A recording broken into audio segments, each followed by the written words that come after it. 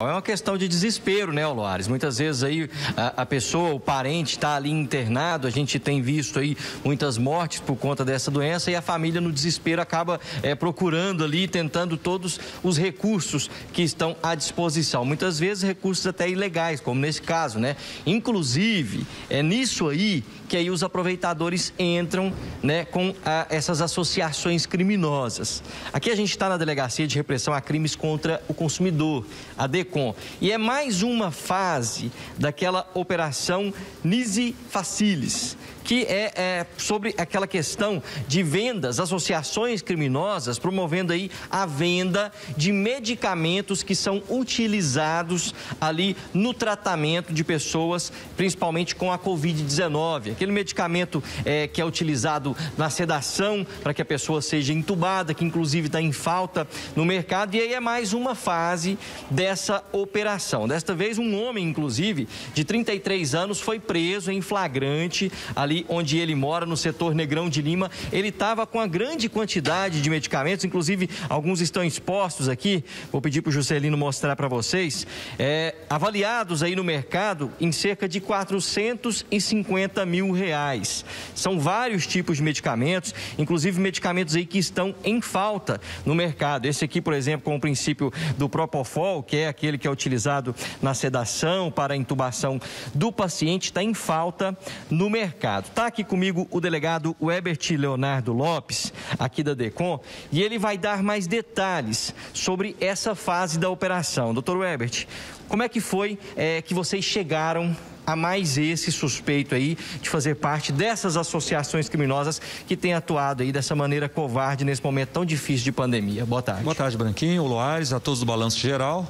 Por isso Civil, através da DECOM, né, é, por meio da divulgação da etapa anterior, deste trabalho de repressão a esse comércio ilícito, é, repugnante, oportunista, de lucro ilimitado às custas do sofrimento alheio, nós recebemos várias denúncias anônimas de pessoas que estariam envolvidos de alguma forma com essas associações criminosas. A partir dessas denúncias anônimas, nós checamos a maior verossimilhança, maior fidedignidade de uma delas e na iminência de que essa, essa pessoa presa, esse rapaz de 30, 33 anos de idade, residente aqui na capital, é, de desfazer dessa mercadoria em casa, tivemos que agir rápido e, e a, a, a, autuar ele em flagrante, porque conseguimos surpreendê-lo na posse dessa medicação, né, uma medicação bem complexa, de, de alto custo, taxas vermelhas aqui, ó, só podem ser vendidas através de retenção de receita, não é nem só apresentação, precisam ser retidas essas receitas, acondicionando todo esse medicamento em casa, medicamento esse que está avaliado aí no mercado ilícito, no mercado criminoso, por algo em torno de 450 mil reais. Doutor, a gente falou aí, né, desse, do, com o princípio ativo aí do Propofol, esse outro taja vermelha, e aí me fica uma dúvida. Não é qualquer pessoa que tem acesso a esse tipo de medicação para fazer a venda, né? Vocês estão investigando isso também? Porque onde que se consegue é, esse tipo de medicação, que inclusive no mercado né, normal está em falta? Exatamente. É bom salientar ao telespectador do Balanço Geral que existe uma gama de pessoas envolvidas desde proprietários de farmácias, é, profissionais da área da saúde, e é isso que nós visamos investigar de agora em diante. Né, o auto de prisão em flagrante nesta nova fase dessa, dessa operação Nice Facilis, ele visa, é o primeiro ato desta investigação.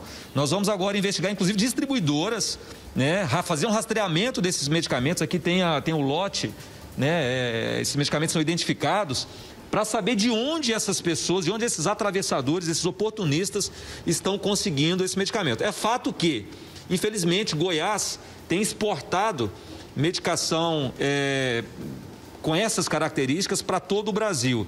E é por isso que a DECOM vem atuando de forma firme. Estaremos é, é, empreendendo esforços para descobrir novas pessoas envolvidas nessas associações criminosas. Até porque nós temos um polo farmoquímico, né, que exporta medicamentos para todo o Brasil. Doutor, aí esse pessoal, mas esse que foi preso agora em flagrante é, e outros que já foram presos ou estão respondendo em liberdade, pessoal dessas associações criminosas podem e vão responder por quais tipos de crimes. É importante salientar a gravidade que a lei, que o legislador conferiu esse tipo de crime.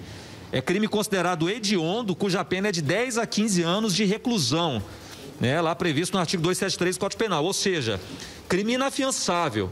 Né? Nós, é, é, flagrando qualquer tipo de outras situações parecidas, estaremos autuando em flagrante ou requerendo as prisões cautelares ao Poder Judiciário, dada a gravidade desse tipo de comércio. É bom salientar que, como esses medicamentos normalmente são encontrados em condições inadequadas de refrigeração, às vezes até vencidos, Aquele que compra, o consumidor que está em estado de desespero, que compra uma medicação como essa, pode inclusive morrer. Se coloca em risco. Porque eles não são, não são acondicionados de acordo com a legislação eh, sanitária exige. A exemplo da, do, do acondicionamento da refrigeração. Então, assim, é uma bomba relógio que infelizmente as pessoas desesperadas acabam comprando e que podem levar elas à morte. Obrigado, doutor Herbert. E aí, Oloares, fica aquela questão, né?